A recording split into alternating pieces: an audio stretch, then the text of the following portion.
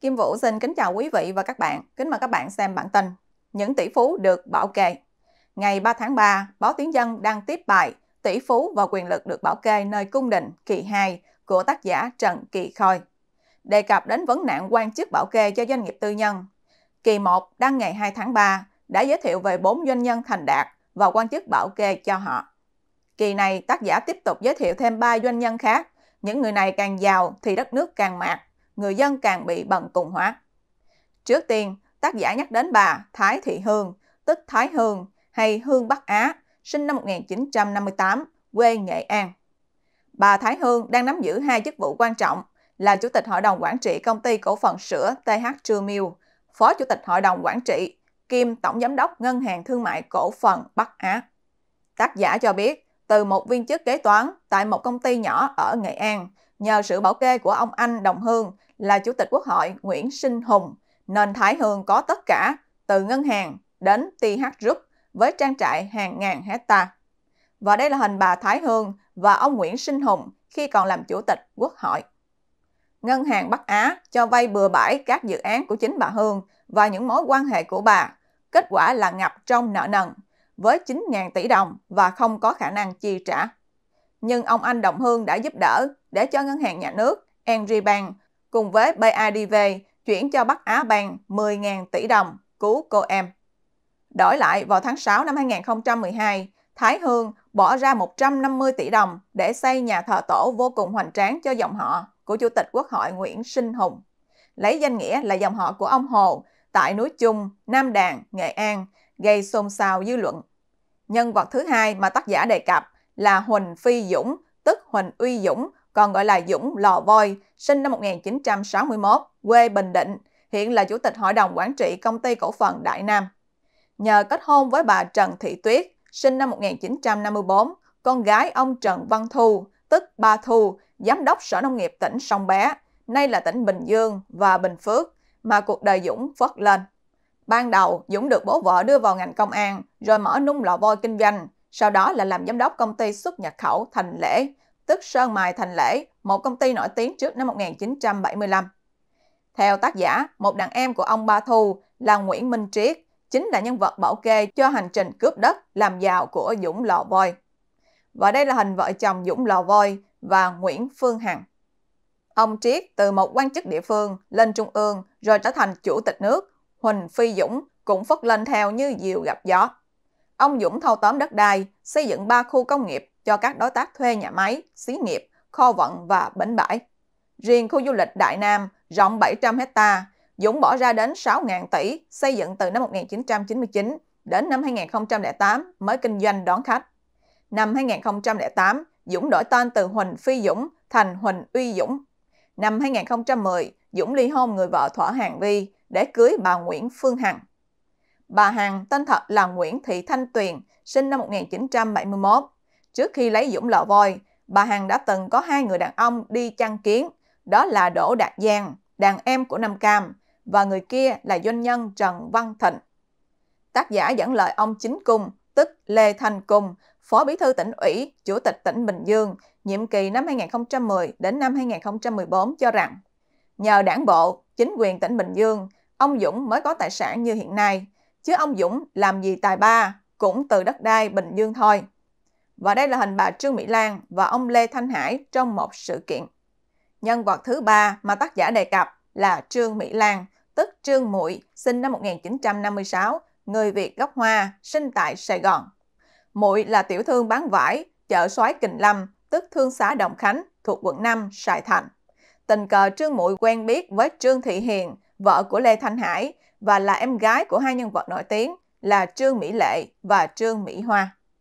Từ đó mỗi kết nghĩa với vợ chồng Lê Thanh Hải, bí thư quận ủy quận 5, đồng thời đổi tên thành Trương Mỹ Lan. Tác giả cho rằng nếu không có sự bảo kê tuyệt đối của Lê Thanh Hải, Ủy viên Bộ Chính trị, Bí thư Thành Hồ cùng với chị vợ của hai Nhật là Trương Mỹ Hoa, Phó Chủ tịch nước trong suốt thời gian từ năm 1990 đến năm 2016 thì sẽ không có nhân vật Trương Mỹ Lan. Nay tiền đã chảy hết ra nước ngoài, Trương Mỹ Lan mới bị bắt giam. Hàng triệu người dân đã gửi tiền vào ngân hàng SCB mua cổ phiếu hệ sinh thái Vạn Thịnh Phát, ai sẽ trả lại số tiền đẫm mồ hôi, nước mắt và cả máu cho họ đây? Quý vị và các bạn đang xem chương trình trực tiếp của Kim Vũ với bản tin Những tỷ phú được bảo kê. Xin mời quý vị và các bạn chia sẻ video này cho nhiều người biết và bấm nút theo dõi trên YouTube và Facebook của Thời báo chấm đề để luôn được cập nhật bản tin mới nhất, nhanh nhất và trung thực nhất. Kim Vũ xin kính chào các bạn và hẹn gặp lại các bạn trong chương trình lần tới.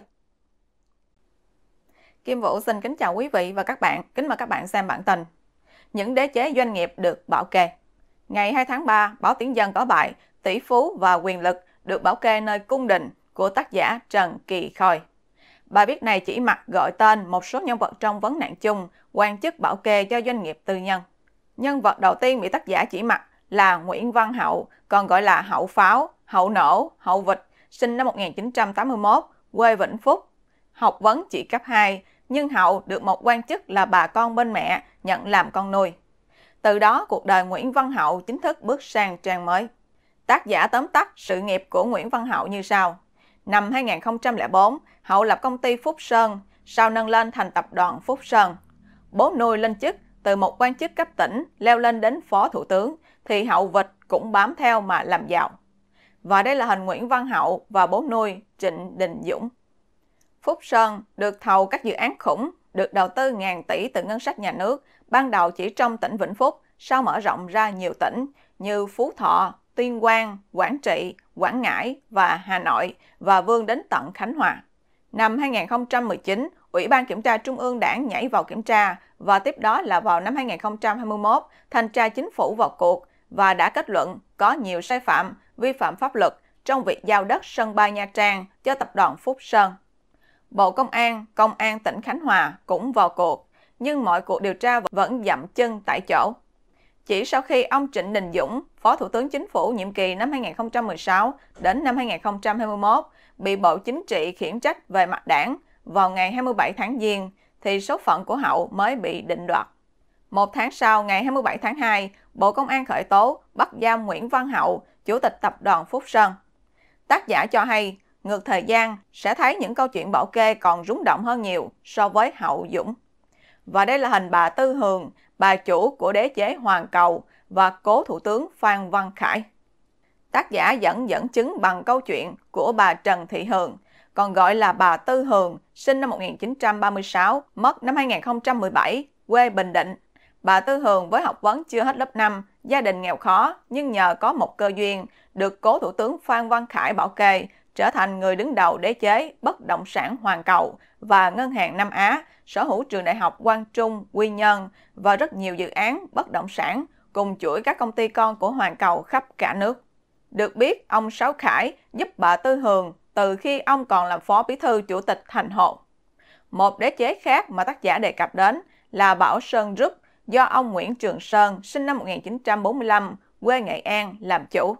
Trong hệ sinh thái Bảo Sơn Group, hàng chục công ty như du lịch giải trí Thiên đường Bảo Sơn, Bệnh viện Đa khoa Bảo Sơn, Hotel Bảo Sơn với diện tích hàng chục hecta đất tại Hà Nội là những cỗ máy kiếm tiền từ các dịch vụ giải trí, y tế, lưu trú, đem lại ngàn tỷ cho Nguyễn Trường Sơn. Tác giả cho biết Nguyễn Trường Sơn là con nuôi của ông Đỗ Mười. Và đây là hình Nguyễn Trường Sơn, ông chủ của Bảo Sơn Group. Nhân vật cuối cùng được tác giả đề cập là bà Nguyễn Thị Nga, tức Nga PRG, còn gọi là Nga Lật, sinh năm 1955, quê Hà Nội. Hiện bà Nga là Chủ tịch Hội đồng Quản trị Ngân hàng Thương mại Cổ phần Đông Nam Á, C-Bank, đồng thời là Chủ tịch Hội đồng Quản trị Công ty Cổ phần Intimate Việt Nam, Chủ tịch Tập đoàn BGA. Theo tác giả, cũng giống như Phạm Nhật Vượng, Vingroup, Lê Viết Lam, Sun Group, Nguyễn Thị Phương Thảo, Vietjet Air, đi lao động xứ người và trở về từ Đông Âu. Nga BRG theo hướng kinh doanh chính là buôn chính sách và buôn đất. Qua mặt hàng loạt ông trùm bất động sản máu mặt, Nga BRG đang là nữ đại gia sở hữu nhiều đất vàng nhất ở Hà Nội, sở hữu cả chục sân golf tiêu chuẩn thế giới, chuỗi các khách sạn sang trọng bậc nhất Việt Nam như khách sạn 5 sao Houston, Hà Nội. Ngoài ra, bà Nga còn sở hữu nhiều bất động sản ở các tỉnh thành khác. Theo tác giả, các thông tin, bà Nga được các ủy viên Bộ Chính trị của nhiều khóa bỏ kê, thậm chí nhiều vị có cổ phần trong BRG, trong đó có ông chủ lò hiện nay. Đến nay, Nga BRG vẫn là nhân vật bất khả xâm phạm. Lý do có thông tin cho rằng ông Lê Hữu Báo, chồng bà Nga, là con rơi của ông Lê Duẩn. Tác giả bình luận, một ngày nào đó, quả bom BRT phát nổ, tương tự như Vạn Thịnh Phát. Lúc ấy xem nhân vật nào sẽ ra tay cứu Nguyễn Thị Nga. Quý vị và các bạn đang xem chương trình trực tiếp của Kim Vũ với bản tin Những đế chế doanh nghiệp được bảo kê. Xin mời quý vị và các bạn chia sẻ video này cho nhiều người biết và bấm nút theo dõi trên YouTube và Facebook của Thời báo chấm đề để luôn được cập nhật bản tin mới nhất, nhanh nhất và trung thực nhất. Kim Vũ xin kính chào các bạn và hẹn gặp lại các bạn trong chương trình lần tới.